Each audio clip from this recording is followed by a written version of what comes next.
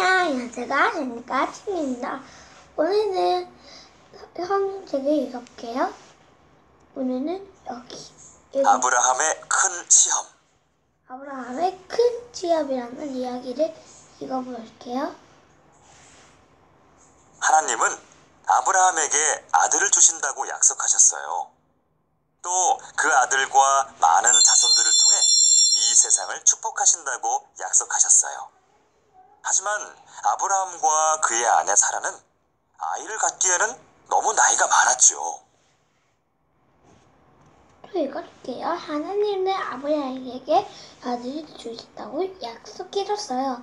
또 그 아들과 많은 자손들을 통해 이 세상을 축복하신다고 약속하였어요.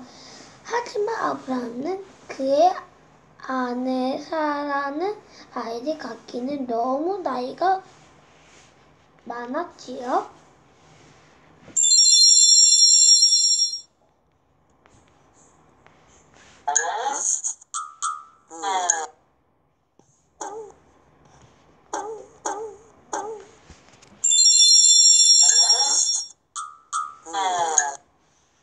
영. 20년이 흘렀어요. 하지만 아브라함은 여전히 하나님의 약속을 믿었어요.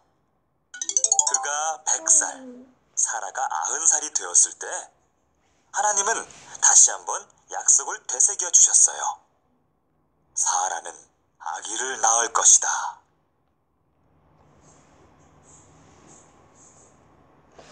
이 20년이 흘렀어요. 하지만 아브라함은 전연히 하나님의 약속을 믿었어요. 그가 100살, 사라가 90살이 되었을 때 하나님은 다시 한 번 약속 되새겨 주셨어요. 사라는 아기를 낳을 것이다.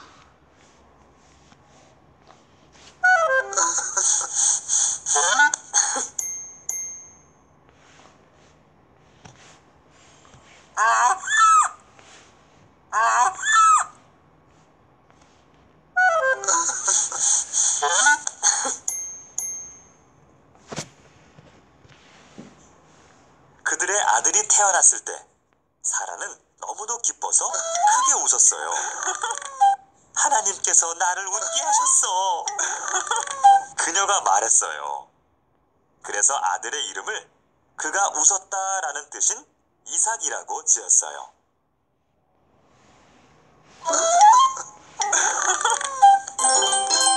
문제. 하나님은 아브라함에게 아들을 주겠다고 약속하셨어요. 그리고 그의 자손을 통해 세상을 복되게 하실 거라고 하셨어요. 맞아요.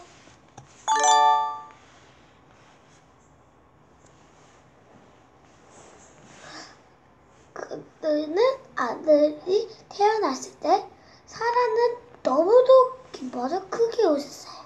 하나님께서 나를 웃게 하셔서 그녀가 말했어요. 그래서 아들의 이, 이름을 귀가 웃었다라는 뜻으로 이삭이라고 지었어요.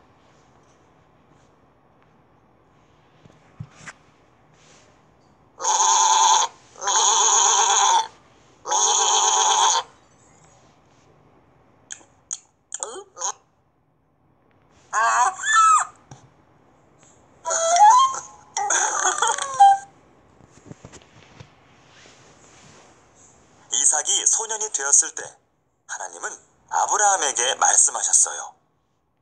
아브라함아, 이삭을 모리아 산으로 데려가 제물로 바치거라. 하나님이 아브라함의 믿음을 시험하셨어요. 아브라함은 혼란스러웠지만 여전히 하나님을 신뢰했어요.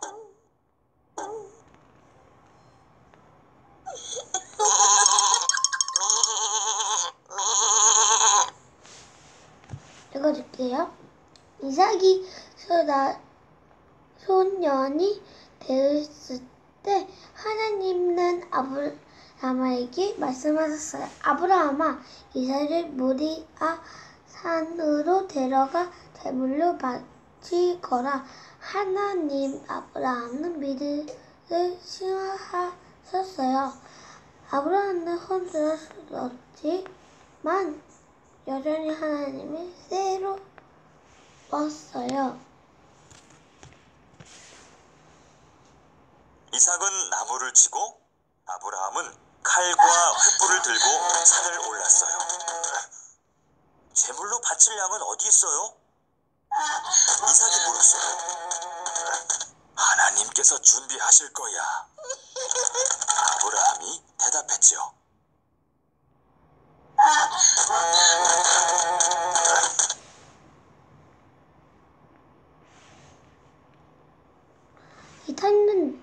나무를 짓고 아브라함은 칼과 횃불을 들고 산에 올라갔어요. 제물로 바친 양은 어디 있어요? 이삭이 물었어요. 하나님께서 준비하실 거야. 예, 아브라함이 대답했지요.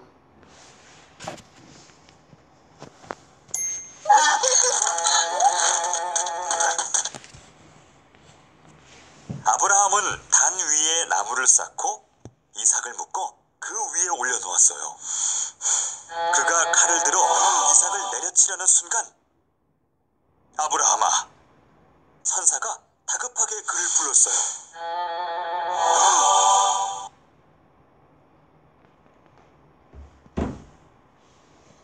있네요.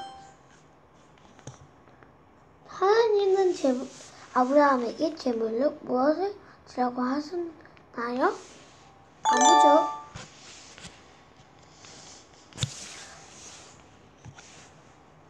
아브라함은 담 위에 나무를 쌓고 이삭을 묶어 그 위, 위에 올려놓았어요. 그가 칼을 들어 내리치라고 순간 아브라함아 순사가 다급하게 불렀어요.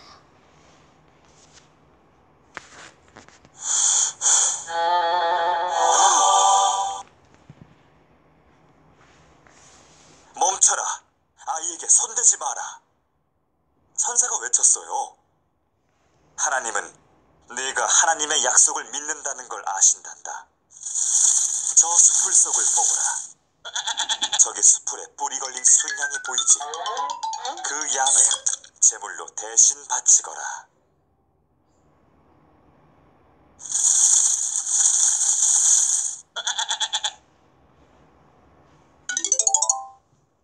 행정 보약을 찾았습니다. 온유.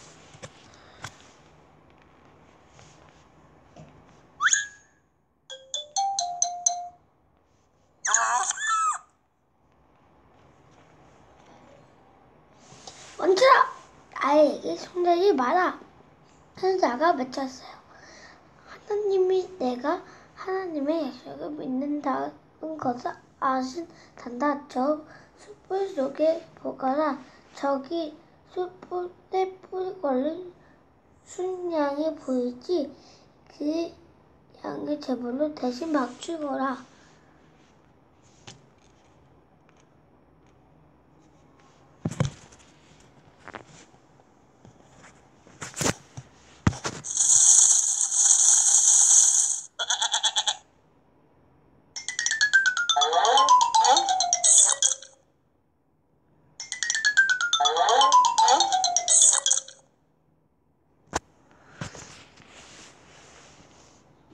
그리하여 아브라함은 그 양을 제물로 바쳤어요. 그리고 그는 그곳을 하나님께서 준비하신다라고 이름 지었어요. 하나님께서 아브라함에게 주신 약속이 이루어졌어요.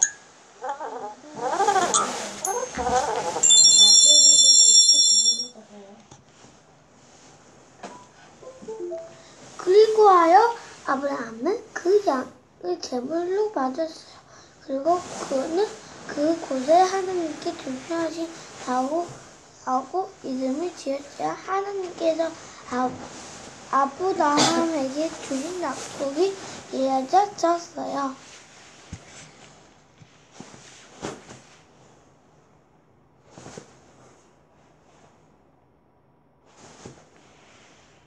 아브라함은 하나님이 반드시 약속을 지키실 것이라고 믿었나요? 예. 잠깐만. 저거 할, 할 인프리트 낼게요. 이 가게.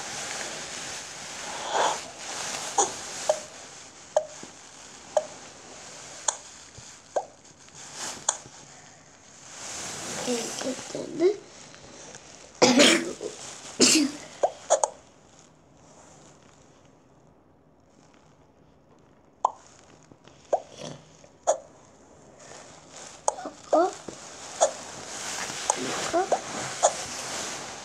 이거 여기 맞죠?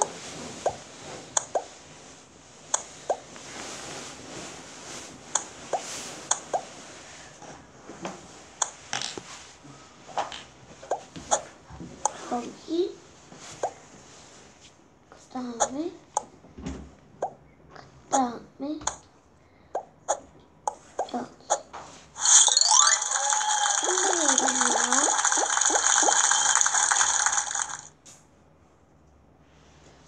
검으로 가기